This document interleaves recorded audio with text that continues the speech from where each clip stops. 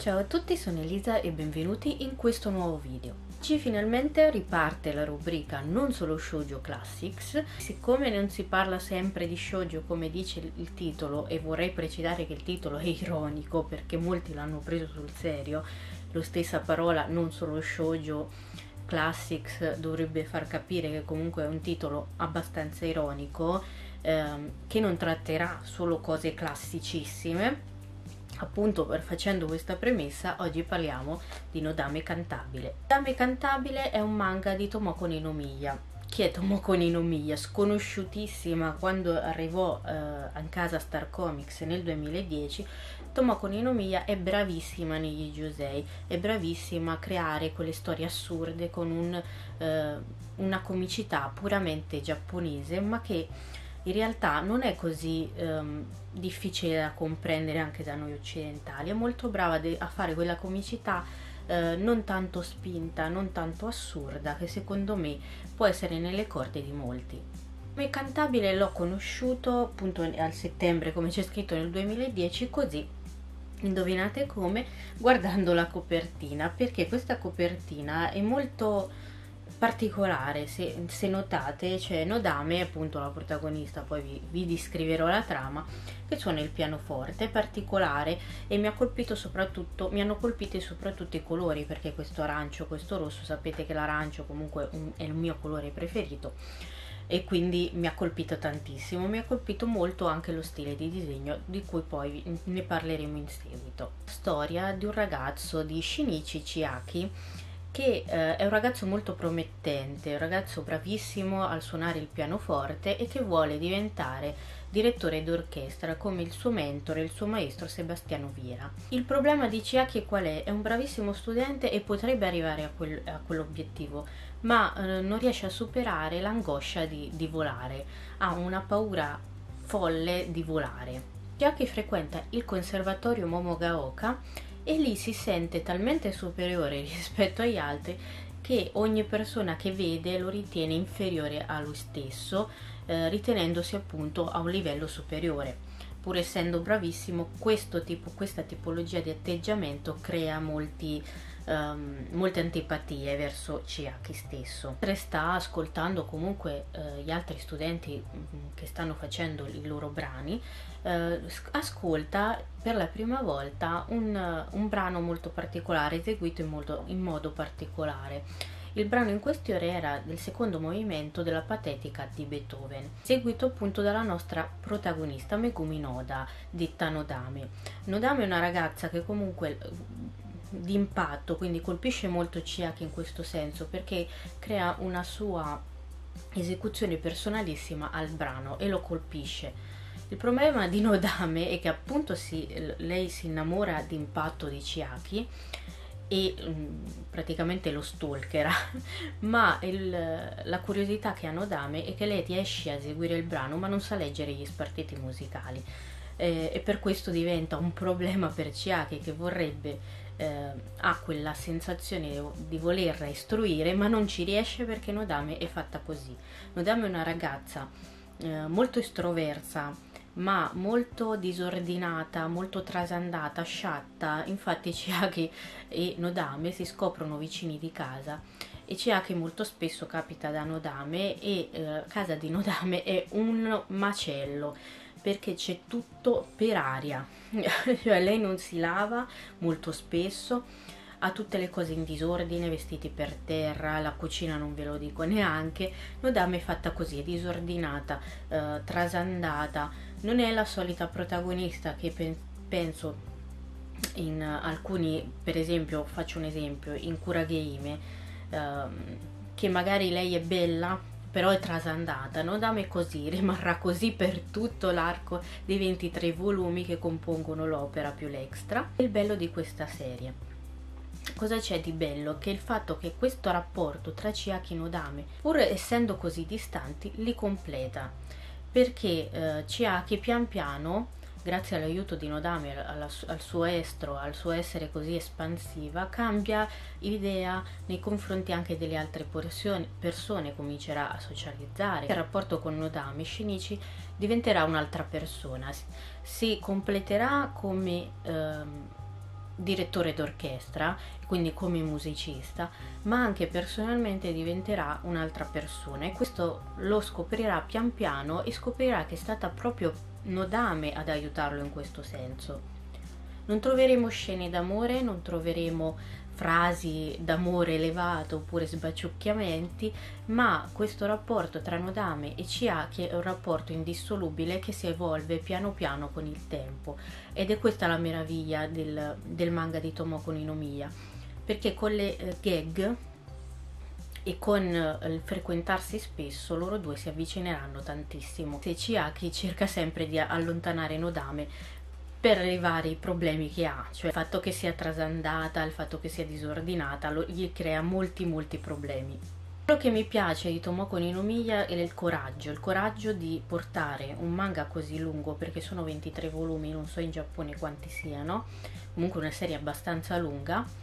parlando di un, di un argomento che non spesso eh, è molto interessante, che è la musica classica, o comunque parlare di Beethoven, di Mozart, eh, delle varie sonate, insomma è un argomento un po' tosto.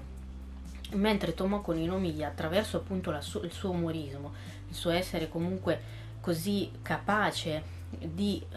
mettere questo argomento a disposizione di tutti noi che non conosciamo magari questo mondo, ha creato un manga, un'opera veramente deliziosa e godibile, sia dal punto di vista culturale, perché eh, leggendo questo manga comunque scopriremo molti nomi importanti della musica e molti brani che magari vorremmo sentire perché eh, attraverso il manga non si sentiranno, vorremmo ascoltarli. Eh,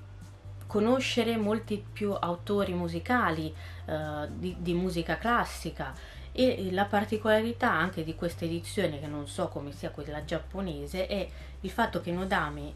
è sempre in cooperatina ma ogni copertina, in ogni copertina Nodame suona uno strumento diverso, che non è sempre uno strumento che noi conosciamo, ma è uno strumento anche particolare. Poi vi farò vedere una clip con le copertine perché meritano tantissimo. Il disegno di Tomoko Ninomiya è un disegno veramente classico, nel senso, fatemi dire cos'è classico, nel senso che ha la capacità di creare volti tutti uh, uguali che non ha uno stile definito, um, non è molto par- particolareggiata, non cura molto il dettaglio dello sfondo, non usa i retini, quindi è una, un tipo di disegno che comunque magari non resta impresso per la bellezza, ma vi assicuro che ogni personaggio secondario è ben caratterizzato e ve lo stampate nella testa per ogni sua caratteristica è fenomenale in questo e anche in Genius Family Company, che è l'altra opera che è arrivata in Italia di Tomoko Ninomiya, si configura molto bene ogni tipo di personaggio secondario. Qua ci sono personaggi di ogni tipo perché 23 volumi potete capire personaggi strambi, personaggi eh, caricaturali, sono tutti eh, incentrati sull'umorismo molto spesso, anche inconsciamente ma importanti per la storia stessa e per il rapporto tra Chiaki e Nodame. È un, un manga veramente d'impatto che non vi aspettate, non è, stato amato, non è stato amato da tutti infatti, è un manga molto ricco di, di, musica, quindi se non vi piace magari il tema, non lo trovate interessante, sicuramente non è un manga che fa per voi, che è passato molto in sordina e eh, che secondo me vale la pena recuperare per tanti motivi perché è uno Josei di target appunto Josei quindi per una fascia adulta di donne molto particolare e diversissimo dagli altri. Eh, non ho trovato uno Josei così particolare eh, ancora perché molti Josei appunto si basano più storia, sulle storie d'amore. La storia d'amore non è fondamentale, anzi si parla più di crescita personale dei due protagonisti, ma anche di non riuscire a cambiare Nodame, perché molto spesso c'è chi ci ha provato a cambiarla e anche lei stessa ha provato a cambiarsi, ma non è detto che uno riesce a cambiarsi, magari è bello per così com'è. Questo poi punta a Nodame cantabile, essere belli per ciò che si è. Nodame non si cambierà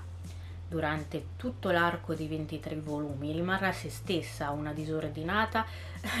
e tutto il resto, quindi eh, trasandata e tutto il resto rimarrà sempre così. Ci saranno rari momenti in cui Nodami si prenderà cura di sé o comunque cercherà di ehm, accontentare, diciamo, o di migliorarsi. Ma eh, di base i protagonisti rimarranno sempre gli stessi, solo smusseranno gli angoli e diventeranno un po' meno rigidi riguardo le loro idee. E quello che mi è piaciuto tantissimo di quest'opera, che mi ha avvicinata tanto alla musica classica, tanto agli strumenti, cosa che io non avevo mai fatto perché non sono proprio portata per questo tipologia di mondo e mi ha fatto conoscere tantissimo eh, la musica classica. Eh, devo dire che è stato un viaggio, 23 volumi scorrevano che è una meraviglia, i dialoghi non sono tantissimi ma quando ci sono si parla appunto di gag per esempio, guardate, non so se si vedrà ma è bellissima la faccia di Nodame, io la, l'adoro questa donna, adoro Nodame perché mi ci sento un po' Nodame anche se lei è molto più dotata di me e ha un talento innato per il pianoforte e per la musica in generale.